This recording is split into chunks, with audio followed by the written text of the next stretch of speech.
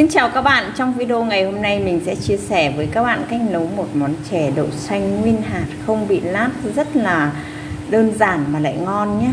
Các nguyên liệu để làm cái món chè này thì mình mời các bạn cùng à, chuẩn bị với mình sau đây ạ. Để nấu à, món chè đậu xanh nguyên hạt này thì các bạn cần chuẩn bị cho mình nhé.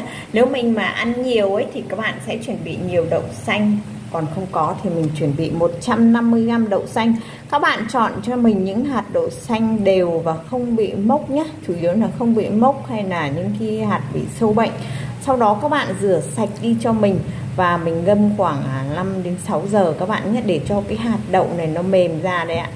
Đấy, mình ngâm nó đã mềm như thế này. Thì khi mình nấu ấy, rất là nhanh chín các bạn nhé à, à, với cái đậu này thì chúng ta nếu mà linh ấy không ngâm ấy thì à, nó sẽ nâu chín mất nhiều thời gian của chúng ta. Cho nên là các bạn ngâm cho mình như vậy thì mình nấu nó sẽ nhanh chín hơn ạ. Và cái nước chua này thì mình sẽ bỏ đi các bạn nhé.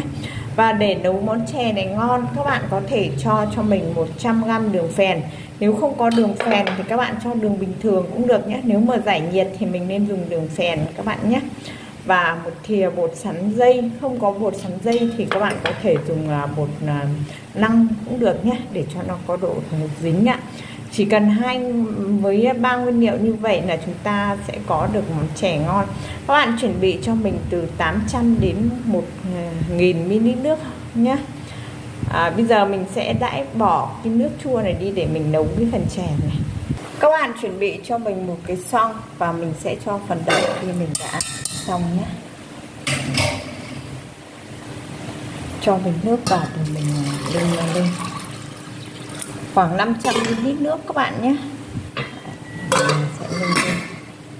Mình linh ninh khi cái phần à, đỗ này nó sôi như thế này nhé, thì các bạn sẽ nho nhỏ lửa cho mình để tránh bị tình trạng nó trào ra nhé.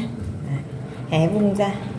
Cái phần bột sắn này nhé, thì các bạn sẽ cho nước vào cho mình để mình à, hòa tan nó nhé.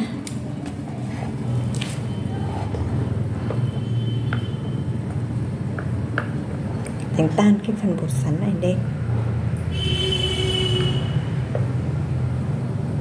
rồi, thì mình đánh tan rồi. Bây giờ mình kiểm tra xem nồi đỗ đã nhừ chưa.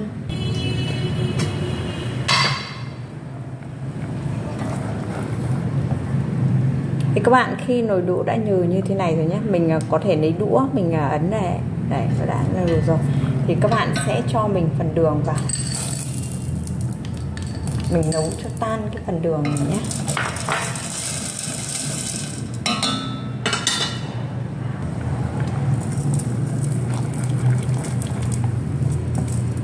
Các bạn nêm nếm xem vừa với gia đình nhà mình chưa nhé.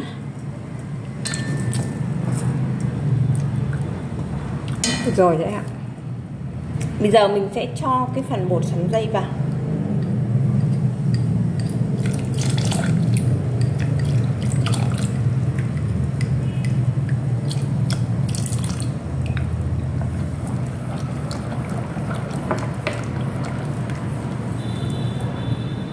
Bột sắn dây cho vào thì các bạn sẽ đun cho mình từ 3 đến 5 phút nữa là cái phần à, bột sắn này nó sẽ chín các bạn nhé.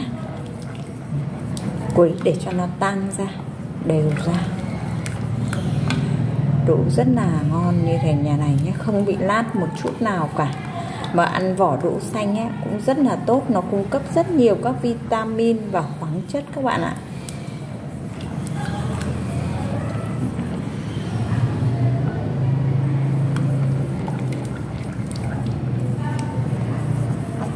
Khi cái phần đỗ này đã chín à bột sắn đã chín rồi các bạn nhé các bạn sẽ để nguội cho mình. Sau đó thì mình sẽ múc ra bát nhé là có thể thưởng thức ạ.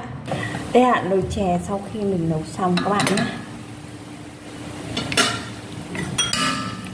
Có thể múc ra bát là có thể thưởng thức ạ.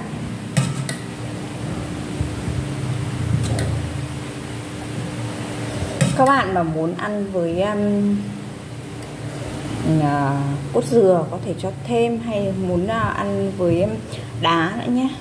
Đây ạ với bát chè của mình sau khi làm xong rất là ngon và hấp dẫn như thế này các bạn nhé. Đấy. các bạn thích có thể làm cái món chè này với tác dụng của nó thì sau đó mình sẽ nói đây nhé.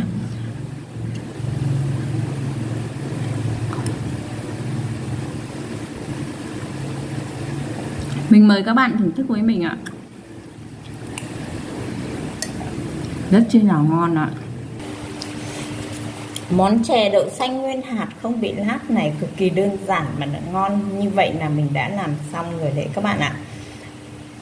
Nó, đậu xanh nó có chứa rất nhiều tác dụng là giúp chúng ta bảo vệ được sức khỏe nhé, giảm cân tự nhiên và rất giàu các chất vitamin và khoáng chất cần thiết cho sức khỏe các bạn nhé. Như vitamin B 2, vitamin B3, vitamin B5 và vitamin B6, vitamin B9 ạ. Selen, protein thực vật các bạn ạ. Loại ờ, đậu này thì có chứa rất nhiều các chất axit amin thiết yếu nhé, như felila hay là leucine, isoleucin hay là vaccinin ạ, nisin các chất xơ chất béo có trong đậu xanh cũng rất là nhiều. Khoáng chất như magie mangan à, pho, sắt đồng kali hay là kẽm các bạn nhé. Ăn đậu xanh nhiều rất là có tác dụng tuyệt vời ạ. À, ngừa được các bệnh như là một số bệnh như bệnh mãn tính à, như ung thư hay nhờ những cái bệnh à, chúng ta bị lâu các bạn nhé. À, ngăn ngừa sốc nhiệt và tốt cho tim mạch các bạn nhé, và giảm huyết áp ạ tốt cho hệ tiêu hóa, giúp giảm đường huyết ạ. Giảm cân và cũng tốt cho thai nhi nhé. Khi chị em phụ nữ, khi mang thai, chúng ta có thể cung cấp chế độ chất dinh dưỡng này để cho thai nhi phát triển khỏe mạnh và đầy đủ các bạn ạ. Rất là tốt. Kết hợp giữa bột sắn dây. Bột sắn dây cũng là một loại bột rất là mát cho cơ thể.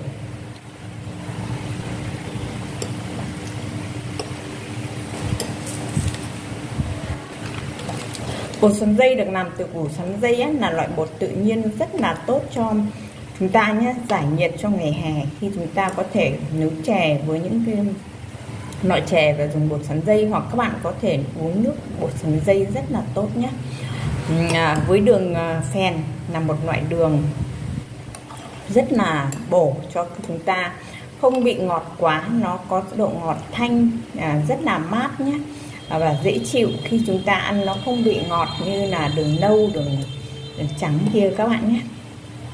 Như vậy là mình đã chia sẻ với các bạn một món ăn rất là bổ dưỡng cho sức khỏe và chúng ta có thể làm tại nhà vừa ngon bổ dưỡng mà lại không mất nhiều thời gian của các bạn nhé. Các bạn thích có thể like chia sẻ và đăng ký kênh giúp mình ạ. Để xem những video mới nhất của mình ạ. Xin chào và hẹn gặp lại các bạn.